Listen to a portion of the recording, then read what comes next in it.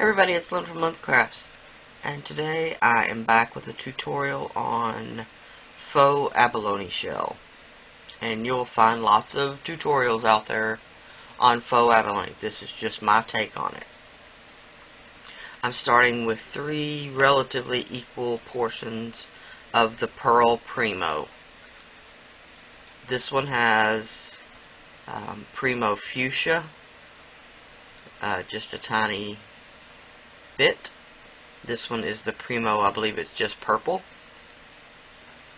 And this one is the Souffle, and I believe it's the Lagoon. Alright, so I'm going to mix these three together. Not together, I'm going to mix these three individually, and I'll be back. Alright, so here's what we've got. And the reason why you're adding such a small amount of color is because you want to maintain the pearl pretty strong. Now you could add mica powders at this point and darken them up, pearl them up a little bit more, um, but that's completely up to you. Alright, I did go back and add just a tiny bit of um, perfect pearls to these and I've got a sheet of just some regular pearl clay. Now at this point you can either use a very thin sheet of black clay or I'm going to use some black acrylic paint. Oops, sorry about that. Um, I would be using the black clay, but I'm almost out. So this is just an apple barrel black acrylic paint. Um, and I find the cheaper the better. I know a lot of people use expensive acrylic paints on their clay, and that's fine. Um, I just don't have that option.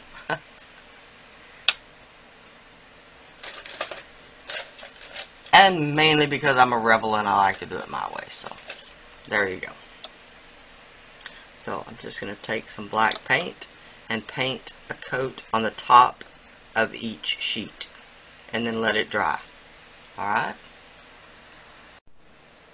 Alright, these are dry and I wanted to explain one of the reasons why I use just such small pieces is because I don't really care for scrap clay.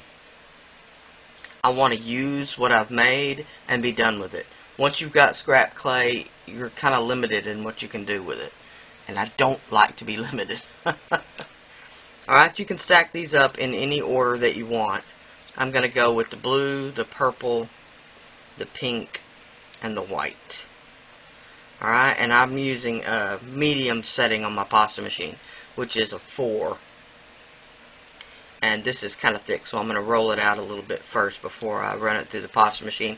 And I'm only going to run it through two or three times because if you do more than that you'll get your layers too thin. And then you won't be able to see the pattern as well. Alright? Okay I've run it through one time. Now I'm gonna cut it down stack it and run it through again.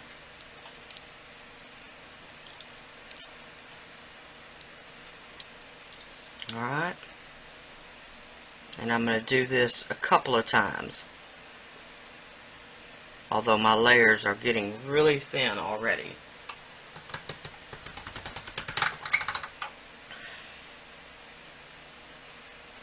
Alright, so I really only ran it through two times. I'm going to stack this back up.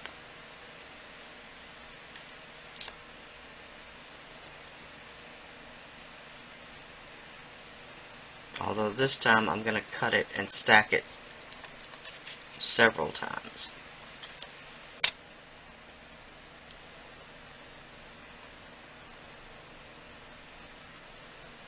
Alright, I'm going to do it one more time. So I've got a good thick block to work with.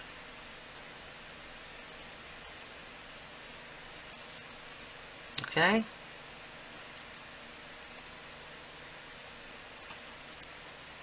Alright, now I've got, I'm going to turn it over to the unpainted side.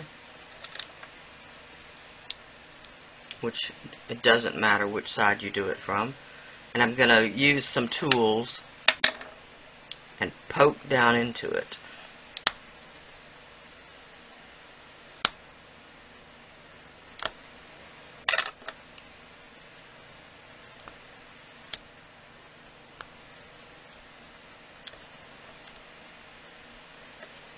Alright, and then I'm to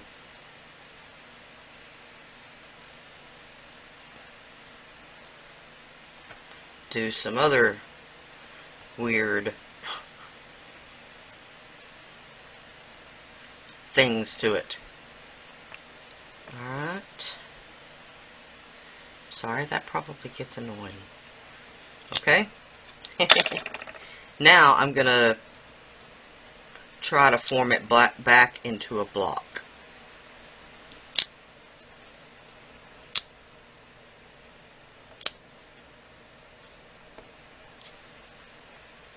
And if you have trouble with your, I'm sorry, with your hands, you can use a, um, an assistant. This is just a stamping block, which you'll find in the department where they have stamps at the craft store. Rubber stamps. Alright. This is just about good.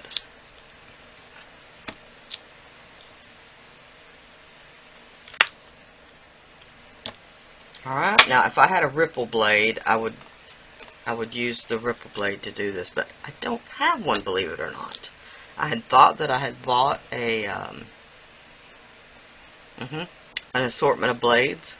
And I actually may have, but I certainly can't find it. So, it is what it is. Alright, I'm going to take this off the paper.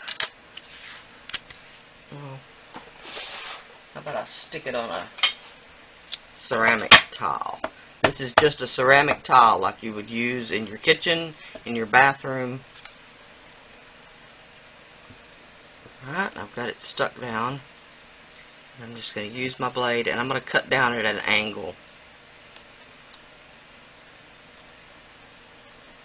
Alright, and you can see how pretty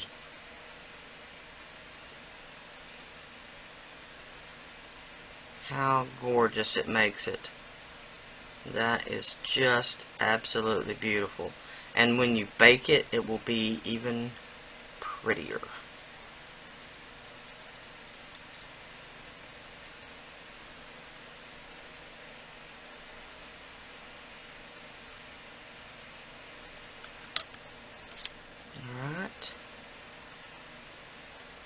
Now, I'm intentionally not showing these baked because I will come back and do a project um, with them. Alright. So, there we go. A faux abalone tutorial. Very simple, very basic, and very easy. Alright, I shall holler at y'all later. Bye now.